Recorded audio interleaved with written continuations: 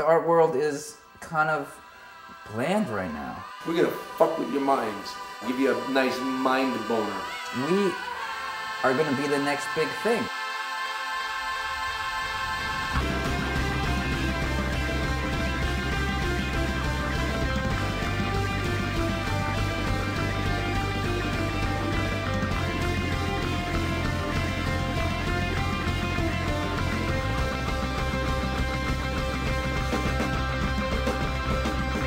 Yeah, we're good looking. Yeah, we're charismatic. Yeah, we've been in movies, in TV, in magazines, on runways, in gay porn. You know, but the art's also good. You know, it's also good art. We're working together in these bright, brilliant colors. And it's unique and it's different because we have two different styles and we're collaborating on the same canvas. It's like when you're slamming atoms together. You know what I mean? It's bam and it's explosions. It's, it's big and powerful. Tony and I paint mainly in my crummy little box of a room in Valley Village, California. I think we're willing to do fucking anything we gotta do.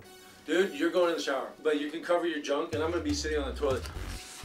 Seriously? I had no idea what it was. I thought it was a fine art magazine. Boys, boys, boys.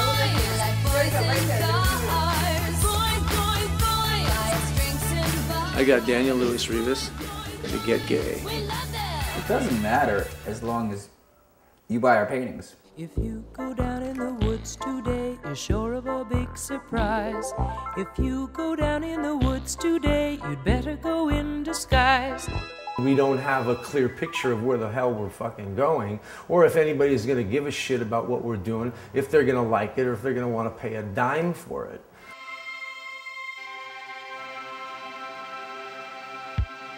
We have brought to New York City from Los Angeles 10 paintings. Why me crank it, why me roll? Why me crank that soldier boy, that Superman, that hoe? Now why me you? Crank that soul, now why me you? Crank that soul, now why me you? Crank that soul, now why me you? Crank that soul, now why me? Most people liked it. The people that were really important that we needed to like it didn't. Did you do this? Yeah. Like, what what is this that we're going for? It's pushing the limits. The collars.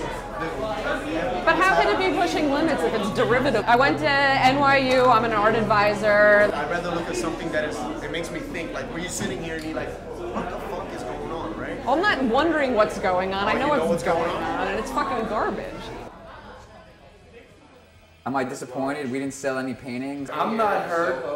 I feel all right about it. It would have been nice to sell some, but you know, we're doing big things. I mean, you know, maybe we haven't sold a painting here, but Calvin Klein gave us a bunch of free clothes and we're on the cover of a magazine. Nobody's slutting it like us. Oh, is that Dennis Hopper? Hey, Dennis! Buy a painting, bitch. Woo!